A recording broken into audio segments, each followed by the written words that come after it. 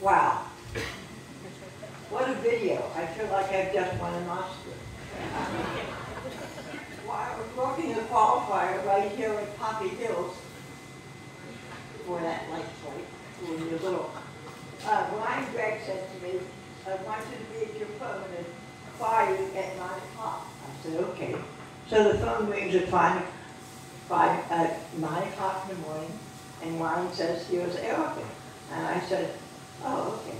Well, this very soft, wonderful voice came on the phone and said, KC, I just want to tell you that you just won the USGA Distinguished Service Award. Well, I was speechless. Well, you know, that didn't last very long. But again, so again, I want to thank all these people that made it possible. And there was a lot of wonderful people that I have to thank, uh, including Karen Dedman, which we talked about earlier, and I'll talk about her later on. And so she told me, and I want to also thank other people around. Uh, there was uh, Paul, who tried to keep me under control at all the tournaments we were at.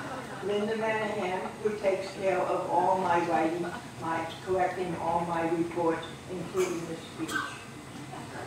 And so then, and all the other people, uh, I'm writing, I can't believe I did this down. And I get back to Karen Dedman, she told me that when you work the match tournament, it's much better to play, say, you're the first to play rather than you're away, which I thought was very nice. And then our own Gail Rogers taught me, she said, if you've never made a long ruling, you haven't worked the next tour, uh, you haven't worked the next enough tournaments. And which that is true. Okay, and then, then I want to thank all the Lions that belong to NCGA. Several who have already moved on, we still have a few Lions here with the staff, and they have been very wonderful. And of course, I've had some, I've worked with uh, WGNC and NCGA for, I said, several years. Linda corrected that and said it's been over three decades. I said, oh, okay. But we've had some very happy moments and then some unusual moments.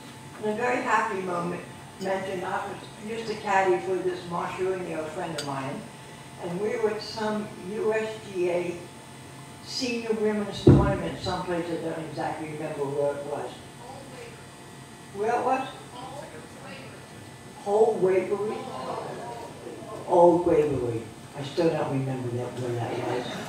But anyhow, I was caddying for Marcia, and she's a wonderful bunker player. She was in a bunker, and for some reason, she made a really bad shot. It hit her opponent's equipment. And everybody said, well, there's no penalty, but the ball went into some really bad country. And I said, hey, Marcia, you can, you're a good bunker player. Drop it back in the bunker, which she did. Hit it on the green, made a putt, we won the hole, and we moved on. So that was no big deal.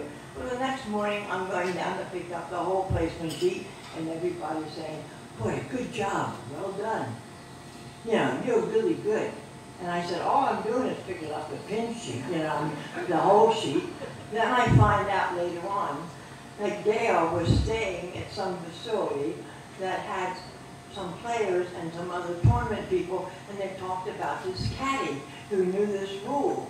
And Gail said, that's one of mine. Yeah.